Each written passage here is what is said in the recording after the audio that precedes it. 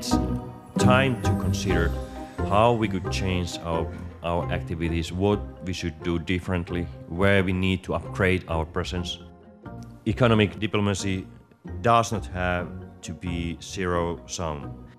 There's a big demand and big need for reforming our societies to be externally more competitive than we are at the moment.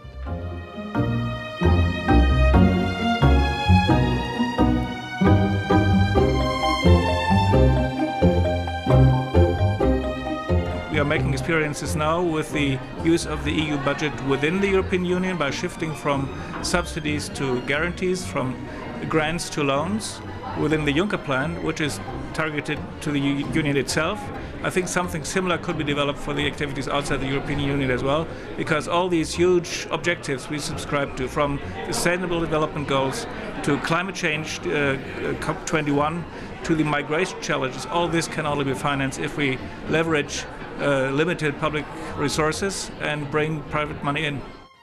we have to have an economic dimension of diplomacy. But, my dear friend, I want to reinforce my thesis. Diplomacy with capital D is only one. And if Europe have no diplomacy with capital D, the rest is not working.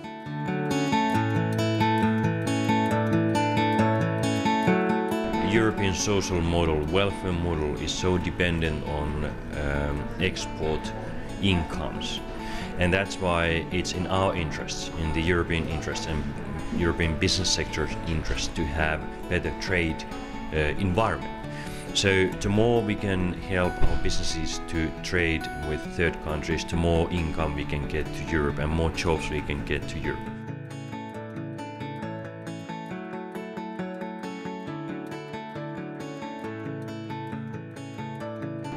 Well, I think first and foremost, businesses have their own moral uh, deliberations to make, and I hope that they do. But more broadly, what we try to do as policymakers is ensure that there are clear rules that are predictable and that are the same for everybody, so that there is a level playing field, as we call it, an equal platform on which uh, the private sector can compete.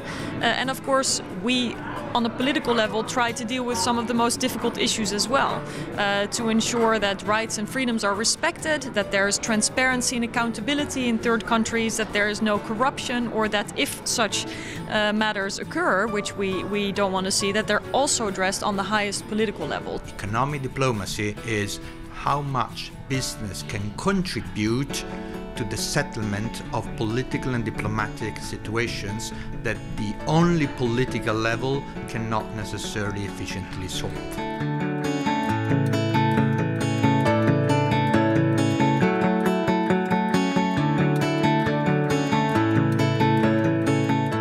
Is sort of economic instruments that are the most powerful instruments that we have in Europe to uh, well, change our societies for the better and also change our surrounding environment long term for the better.